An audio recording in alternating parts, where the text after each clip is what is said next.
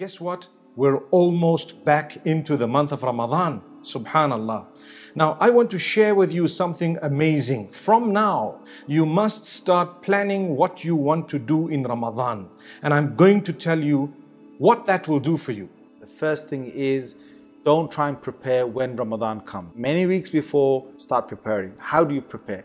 Slowly see if you can get into the habit of starting to eat less on certain days. It will help you in Ramadan. Don't get to Ramadan and the first few days you're fasting and it's killing you inside and you're thinking, La hawla wa la quwwata illa billah. I wish there was no Ramadan. Okay? So stop all your burgers and your chips and your other things that you're stuffing down your throat and cut down because as a Muslim you're supposed to live healthy anyway.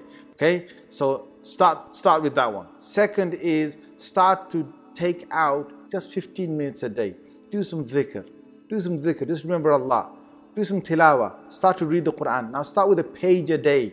A page a day, build your stamina. Try and do one and a half pages a day, two pages a day, three pages, four pages, one quarter of a juz a day. Get to that level. If you can't, stick to your quarter juz. I know you're busy, stick to your quarter juz or whatever it is. Don't let go. The whole point is if you can build that stamina up, up to Ramadan, you've got quarter juz, you've got a bit of dhikr, going on. However you want to remember Allah with La ilaha illallah, subhanallah, alhamdulillah, Allahu akbar, astaghfirullah, whatever you have, 10 minutes, 5 minutes, 15 minutes, whatever it is, place that on top and a bit of dua. If you can put that together, Alhamdulillah, you're, you're going in the right direction. Now, don't try and put it on, slab it on in one go. If you slab it on in one go, you will end up not doing any of it. You'll, you'll flop. So build the stamina slowly, slowly, and then if you can, do this in the night time when Isha, Isha is late anyway, you're just going to pray your Isha, you're probably tired, I know that, yeah? Just pray an extra two rakats and you know, make the niyyah of the tahajjud.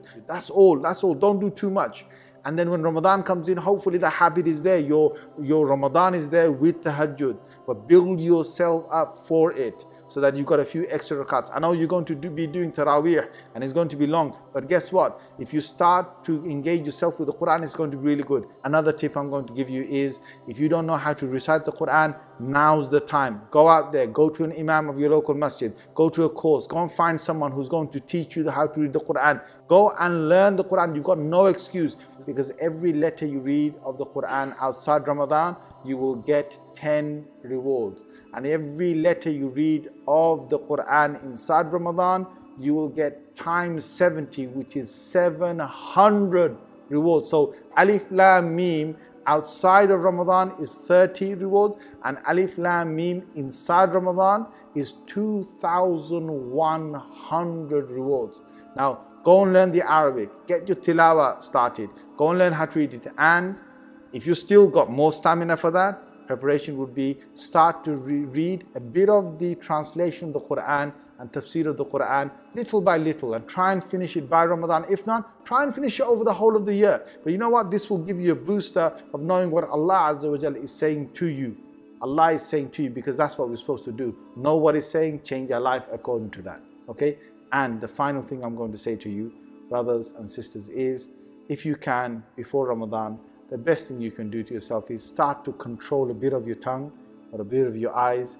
If you can't do any of that, as in control it, start cutting down how much you speak, start cutting down the things that you're watching, cut down slowly. Don't do all of a sudden, slowly, slowly. Inshallah, by Ramadan, you're not watching any haram. By Ramadan, you're not speaking any haram. And after Ramadan, you know what? Try and keep all this up.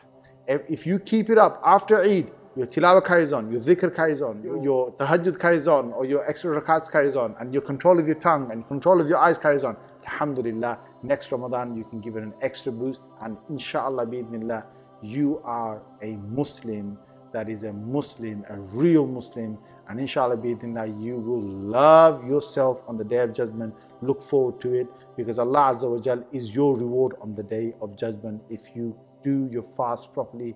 Allahu Akbar. The reason why it's very important to make serious intentions already. We don't know if we're actually going to witness the month of Ramadan. The Prophet ﷺ used to say, Allahumma balighna Ramadan. Oh Allah, let us reach the month of Ramadan. It's not yet Ramadan. I may die before Ramadan. And that's a reality. I may. Who knows? May Allah grant us all Jannatul Firdaus. In the case where we don't make it to Ramadan because Allah's taken us away, guess what? You will have a full reward of everything you seriously intended to do because innamal a'malu bin niyat definitely all your actions are judged by their underlying intentions. So the hadith says, whoever intends to do good and was unable to do it, Allah writes a reward for that person.